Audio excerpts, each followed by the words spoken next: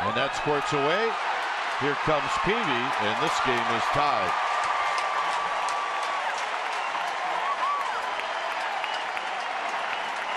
And Pagan moves to third.